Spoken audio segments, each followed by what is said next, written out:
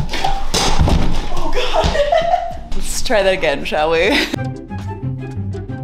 Hello there, my beautiful, lovely internet friends. I come to you today with a new tool and a lot of feelings about it. And I wanna be honest right off the bat and say that I don't love that I am feeling the kinds of ways that I am feeling about this lovely beautiful, fantastic new aid that I have, but I do think that being honest about what we might actually feel is a good place to start. I hope to look back on this video a year from now and think, wow, Jo, you have grown a lot. Your thoughts and feelings about how you see mobility devices have evolved and changed. Good job, girl, but we're not there yet. I got a wheelchair which I'm really grateful for. And I also feel super gross about. And I feel gross about the fact that I feel gross about it. So let's chat. So earlier this week, one of my dearest, darlingest friends, Annika the amputee, you can check her out, the links down below, flew out to Colorado to bring me her old wheelchair. And by old, I mean it is still absolutely in fantastic condition. It works great. And I'm incredibly grateful for it because if I'm being honest, this is something that I need to have. Realistically, I probably should have learned how to use a wheelchair on my own, like, you know, a decade ago, but I haven't. So Mr. McNubbins here is having a lot of problems. I'm having a lot of nerve pain.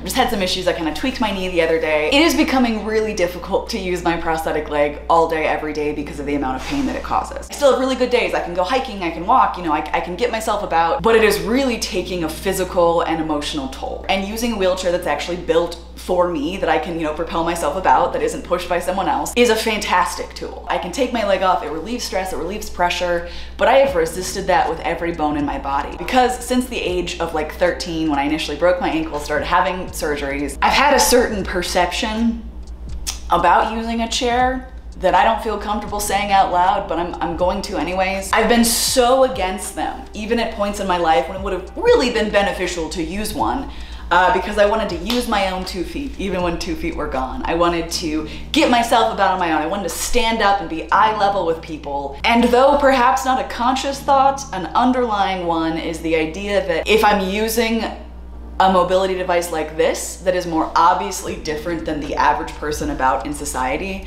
that I will be seen as less or that maybe I would see myself as less. And I have let that belief stop me from getting and using tools that I genuinely need. I feel like as, as a member of the disabled community, and especially someone who has a presence and a voice on the internet, that I should probably have worked through this a long time ago by now. We're kind of all raised with this idea that being different is not great, period. Being disabled is definitely not great, period. And then the more visibly disabled you are, the more not good it becomes. I think that's an idea that most of us get from age zero onward. So as I've gone through my whole surgery and limb loss journey, I've always been very vehement about like friends who were like, hey, we're gonna go walk around Target. Do you want me to grab you a chair so that you don't have to walk? Because I can see that you're limping and your leg is hurting. And I'm like, no, I'm fine, I'm good, I'm great. When I'm obviously not, and that would be very helpful to me. The only times I've allowed it are like being wheeled out of the hospital to my car before I start using my crutches again after surgery, or like in some very, very rare situations. It's long overdue that I face and work past those feelings, but I think it's important to acknowledge them before I can actually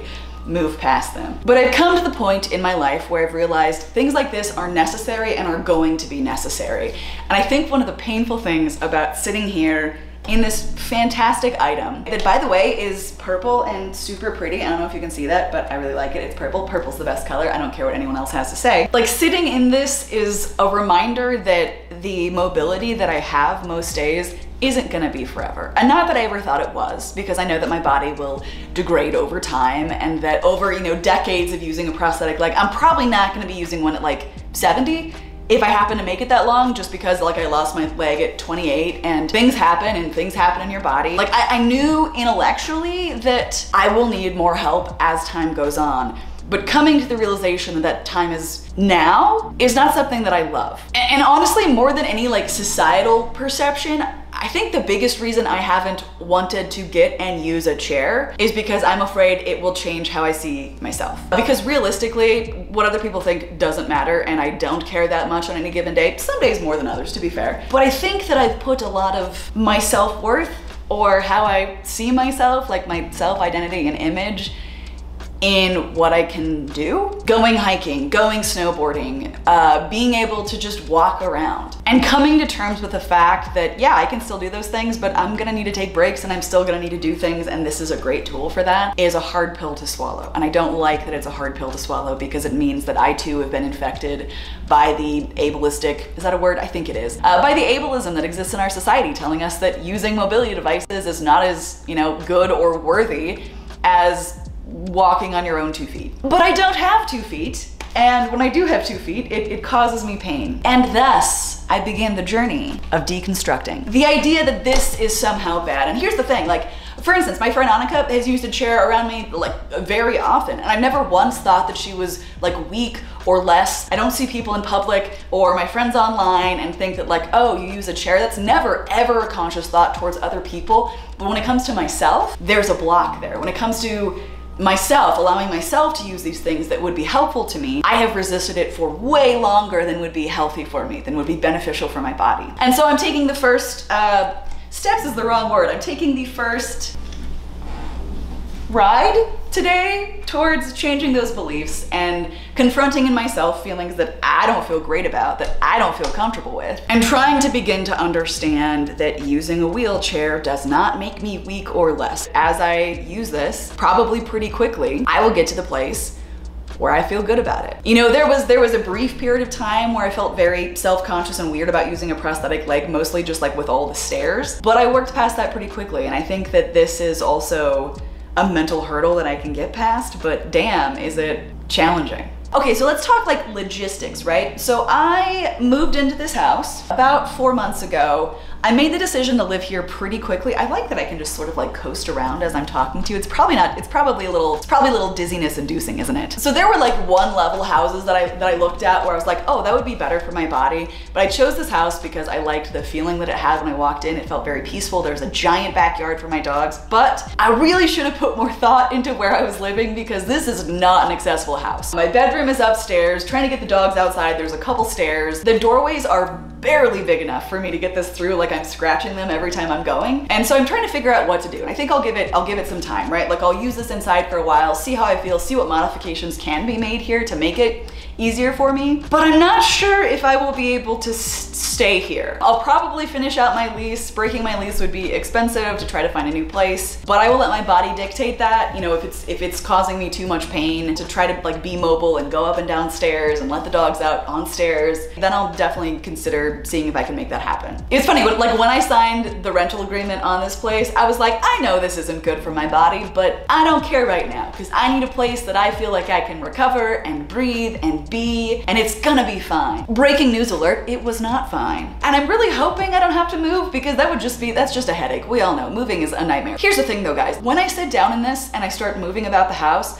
there is this like physical sigh of relief because I'm like, oh, I don't have to take another step, which doesn't feel great. I already kind of feel some of the physical benefits of this. And I'm kicking myself with the one good foot that I have that I did not do this sooner because it feels good. It is helpful to my body and I'm really glad that I have this. Working through some of the mental hurdles isn't comfortable, but it never is. And as not great as I feel about some of the thoughts that I have about my chair, I'm really proud of myself for using it for saying, no, this is something that would be good for me and thus I'm gonna use it.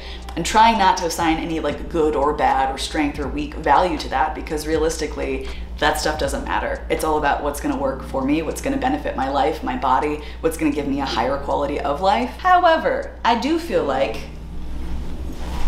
don't run over puppy paws. the dogs are not quite used to the chair. They're like, Mom, what are you doing? And they don't get out of the way. I feel like she needs a name because, you know, I've named every piece of mobility equipment that I've had, my prosthetic legs.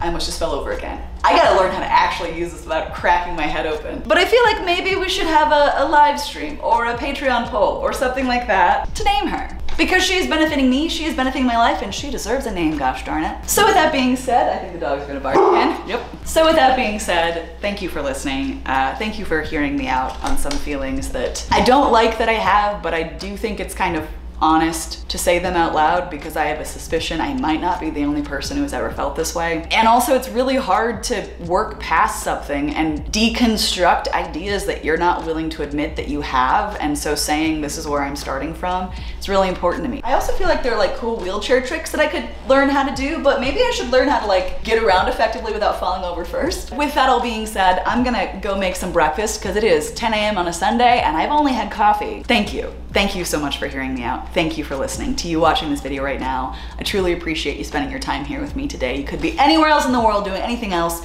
and you chose to spend 8, 10, 12 minutes, however long this video ends up being, uh, listening to me talk, and I really appreciate that. To my patrons over on Patreon, thank you so much for your continued support. You guys mean the world to me and enable these videos to be made. Thank you. I love you guys. I'm thinking about you, and I will see you in the next video. Bye, guys.